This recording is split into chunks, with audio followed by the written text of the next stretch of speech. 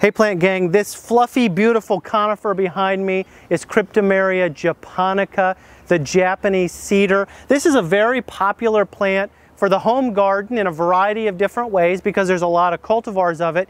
You can really find a Cryptomeria japonica that really fits your site's needs from very kind of small ones to very large plants that can be used for screening and for hedging.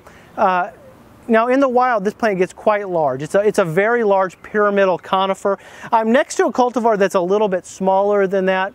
Uh, this is an evergreen, a gymnosperm, a plant that uh, stays with its foliage, its needles on uh, all through the year. Uh, one thing that makes this great for a screening plant is that it's kind of, it's not a extremely fast growing tree, but it is a medium to fast growing tree. And it can be used for privacy, uh, to uh, block off areas that you don't want to see. Maybe your neighbor got a hot tub. You don't want them to, you don't want to see your neighbor's hot tub anymore. Uh, you know, a cryptomeria like this one that I've got behind me might be the ticket. Uh, there's cultivar like Globosa nana, which means that it's round and like a globe and that one's a little bit smaller. Uh, there's smaller pyramidal ones like the one that's behind me. So seek out Cryptomeria japonica, a lot of different things you can know about this plant.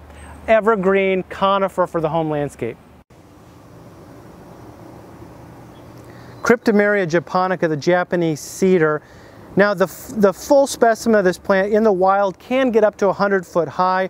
Uh, but typically the straight, straight species for us in the eastern United States gets 50 to 60 foot high, spreading out 20 to 30 foot wide pyramidal or conical with wide spreading habit. It's hardy from a, a soft zone 5, uh, 6 through 8 is really where it thrives. Uh, there are a few problems that it can get, leaf spots, uh, but usually trouble-free or ne needles, needle spots, uh, some different kind of fungal things that can get on the, on the needles of the tree.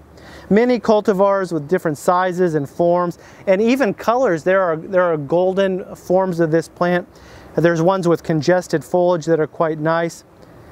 Uh, the bark is reddish brown and, and kind of has an exfoliating, peeling nature to it. And here's a landscape tip.